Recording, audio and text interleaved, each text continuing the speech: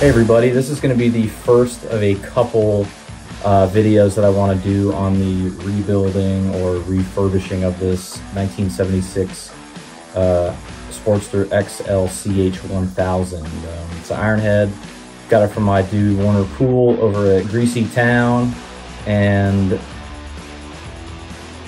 we got through a bunch of stuff just getting this thing up and going. We've done a bunch of things to it. So um, right now, we're just working on getting the pinion gear lined up with the oil pump. So that's where we're gonna start.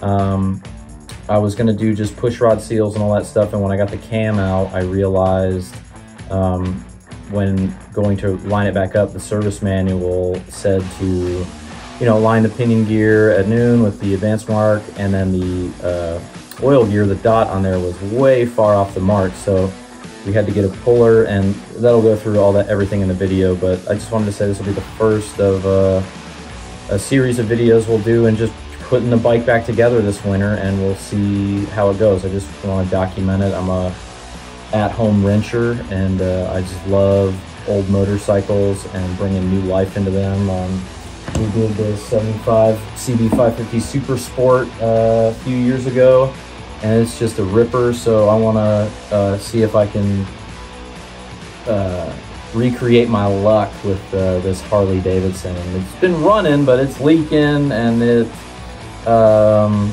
it's got like really really bad mid throttle response with the Super B. So I got a master jet kit for that.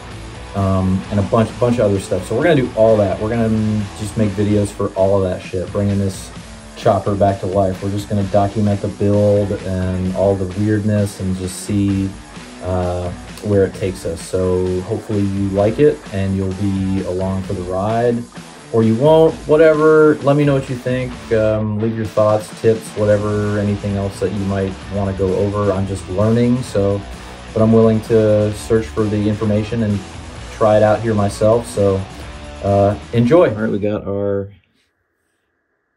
pinion gear off of the shaft using this guy that we bought, Sifton removal tool for like 80 bucks. Comes with the piece to put the pinion gear back on, so we're going to do that right now. All right, so I was having a problem before with the motorcycle where this dot here was over here when the advance mark was in the timing window. So we removed the pinion gear like it says to in the manual with the puller tool and we took the oil gear off and we lined this guy up now. So when we slide the gear on, the oil mark, well, it's not perfect, but it gets pretty much as close to that window as possible with the advance mark at the middle on the other side. And then this hash mark also here indicating at noon as well. So if we try to move it out another tooth, like this way, you can see that it's just too much on that side. So I'm gonna, I'm not sure if I want it to be, uh, that, that looks like it's gonna do right, right, I don't know, right there maybe. Cause the gear, okay, the gear is going to get pressed on and it needs to have 5 sixteenths of space from the uh, from the case. So I'm going to guess that maybe that I'm not sure if I want it to be either forward because that looks too far out of the window then then what this does. Oh, sorry, wrong one. Too far. That one. That looks closer in the window to me, maybe. All right, so what I've decided to do is I'm going to leave it spaced on the left side just a little bit. So when I press the gear in with the pinion, when I press the this rear oil gear in with the pinion gear, it might push this far enough that I, I can't get it with my hand, I, I think, but it may move it forward just slightly to fit the window. So I'm going to say that this is probably good rather than over here pressing it in and then ending up back again where I was and having to take it out again. So I'm going to leave it here and we're going to put the pinion gear back on. So let's do that. All right, so we're going to go ahead and put our pinion gear back on and we can see here uh, we have the bigger mark with the hash here for the cam alignment. So we're going to line that up to the shaft. And it's going to sit on there like that just for now. Okay. And then we're going to go ahead and we're going to take our left-hand thread uh, removal and installation rod, and we're going to screw it onto the drive shaft like so.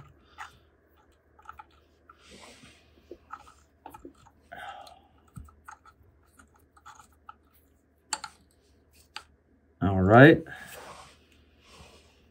Then after that, we're going to take our installer, push that there, and we take the removal tool and we're going to put it on backwards this time. I know I didn't make a removal video, but I have a short time lapse that I'll throw in here uh, of the removal.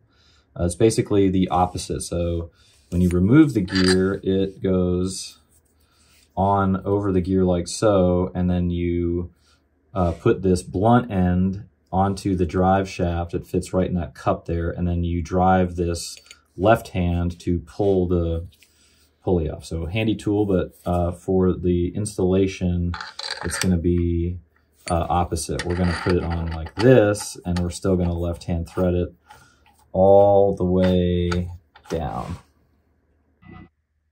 All right, so now that we have the installer on, we'll take our, well, 7 eighths, and it's a little big to work in here because the starter is still here and this front uh, front foot assembly here. So we're gonna do some chopper shit. We're gonna take our handy dandy fucking crescent wrench, wherever it is around here. Here you go, ah, here you go. And uh, I gotta put my hands down to do this because it's in gear. So I'm just gonna hold the front brake down and we're gonna left hand turn this to install that thing right back onto the drive shaft. Uh, I was just kidding. We are not going to use this crescent wrench. We're going to use this one.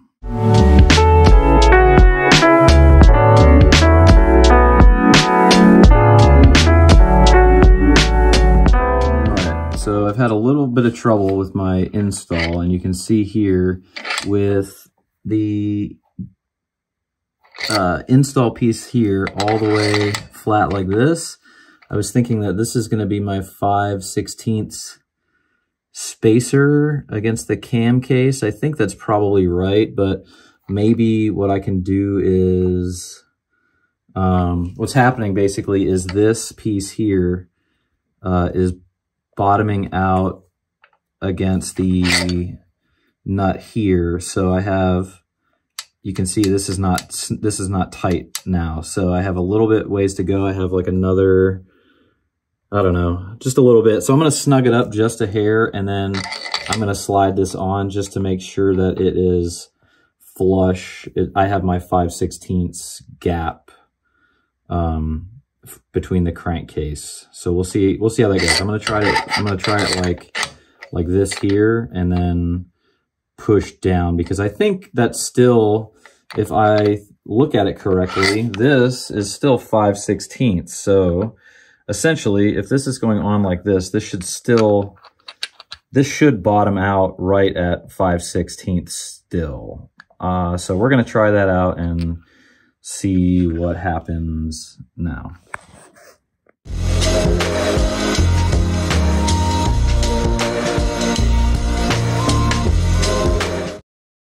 All right, so that didn't work either. So uh, you can see I still have all that free play back there. So we're gonna show you how to pull this off after all because it's gotta come back off now. So awesome. All right, so you can see here how the tool fits onto the shaft, right? Goes on the end there. Hold that 7 eighths, crank that 5 sixteenths, I think, something like that. Yeah, so hold that, crank that, and the gear gets pulled off the, or the pin, it gets, it gets pulled off the thing.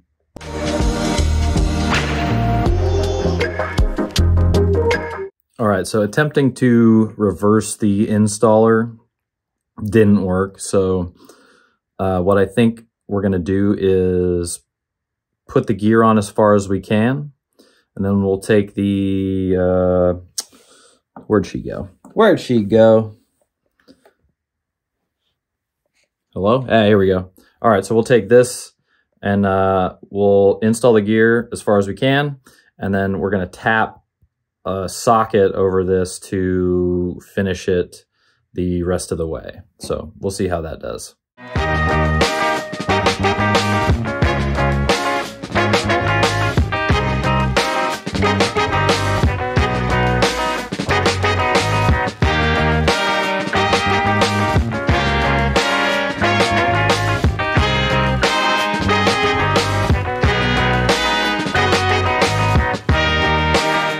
Just another thought I had that maybe the tool um, actually goes on and installs like uh, this instead of the way that we put it on. But um, I still think that that's going to leave the right amount of space between the cam case bushing and the gear. So we're just going to leave it how it is. And uh, I think we did it the right way.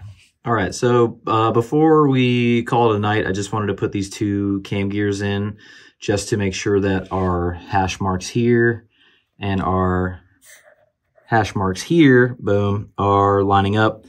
Uh, so we're going to be good to go. I'm going to guess that there's probably a little bit of wear or something in the oil pump. So maybe, I don't know, maybe we'll rebuild that at some point, but the engine is in the frame. So it's just going to have to fucking hold on. So cool.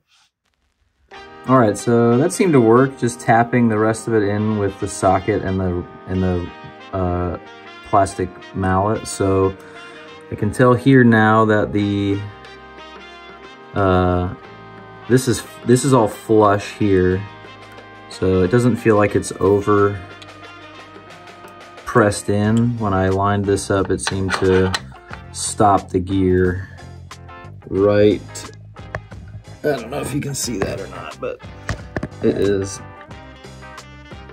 basically flush with the thing now. And I measured this, if we can, I don't know if I can do this with two hands, but one hand, but if we, here, let's see if we can do this.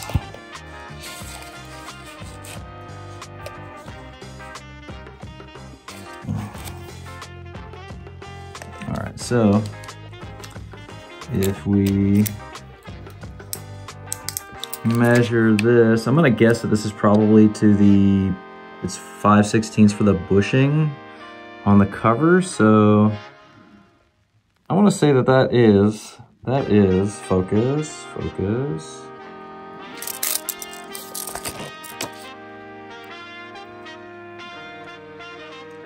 That is about five, if I can keep my fucking hand still, Jesus.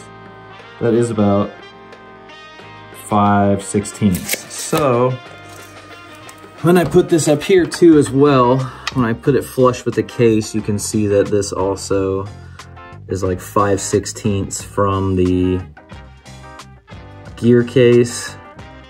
So uh, I don't have a ton of play uh, anymore back here. I have like virtually none. And I don't want to really tap it in any further, but uh, it feels like it's on there.